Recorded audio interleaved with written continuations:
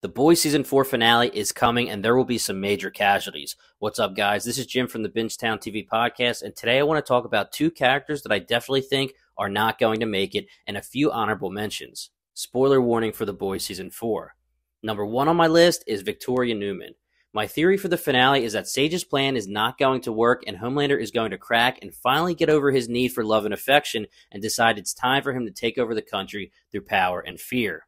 Unfortunately for Neuman, this will end her journey to the presidency. Homelander has been working with Neuman mainly because he knows she's a secret supe and her becoming the vice president and then the president would benefit him as the most powerful supe on the planet. However, if the plan fails, I have a feeling he won't think he needs her anymore and he will come out in the open as a force leader.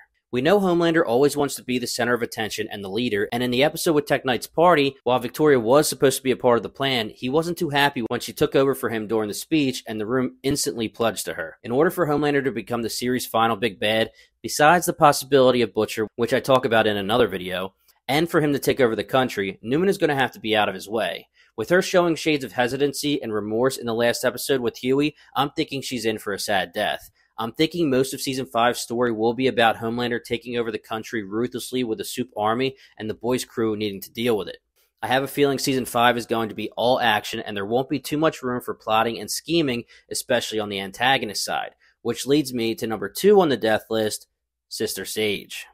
If my theory is correct and her plan fails, I think Homelander is going to fully go crazy and take her out, believing her plots and schemes are just in the way. As I said before, I think season 5 is going to be about Homelander seeking total domination, not through schemes or plots, but through fear and power. This will leave nothing for Sage to do unless she decides to help the boys out. A Sage plan to beat Homelander would be a great option for the boys, but my money's going to be on her not making it. If she stayed in the equation during season 5, I think it would be too much of a distraction to the main plot with only one season left in the whole series. If we're going to have a Homelander and a Joe Kessler plot, I don't think we can fit in a Victoria Neuman and a Sister Sage plot in one final season. Now, a few honorable mentions. Frenchie is definitely an option to die in the finale.